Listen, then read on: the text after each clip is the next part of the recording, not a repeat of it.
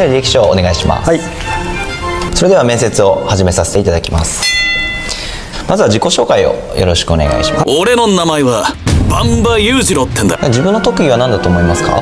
イタチの最後っぺだぜ。では長所と短所を教えてください。俺のスピードについてこれんのかよ。今の自分を作っている一番あの大切なことでいうとどんなことですか？光明心。もし入社をしたらこの会社をこうどうしていきたいと？思いますか？燃え尽きやがれ！周りの友人からは何て言われますか、地球上最強の生物に。性格を一言で表現していただけますか？醜い！今からあの、はい。10個ほど、えはい。あのちょっと知りたい質問を、えーそれに対して、はい。ちょっと即答でお答えいただけますか？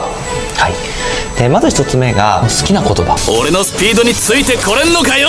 座右の銘を教えてください。とりあえず死ねよ！好きな食べ物を教えてください。イタチでは好きな色を教えてください。暗闇好きな国を教えてください。高校の好きな給食のおかずを教えてくださいイタチの苦手な食べ物は何ですか？モーリンでは好きな動物を教えてください。イタチの。今行きたい場所を教えて。くださいしかいない中。何フェチですか？殺し屋ゲンプロポーズの言葉。をとりあえず死ねよ。素敵ですね。